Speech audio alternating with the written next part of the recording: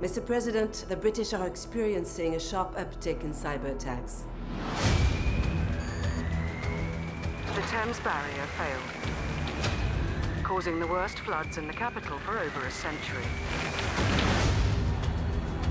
The operators think someone got into the system.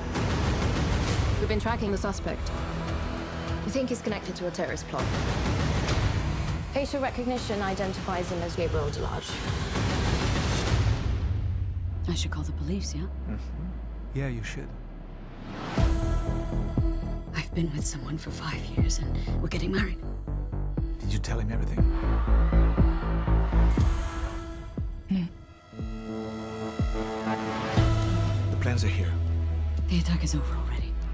No, that was a warning. Until somebody claims responsibility, it's not over. And you trust this man? After what you did to him? If you hate me, you wouldn't be wrong. Trying to tell you I've changed. You think we can change? It's happening again. They've got complete control of the grid. We have to get a grip of this, Alison. I need your help. I know those guys more than you do. They're going to slaughter us. Stay and you'll get killed. I know they're planning an attack and you just want me to run.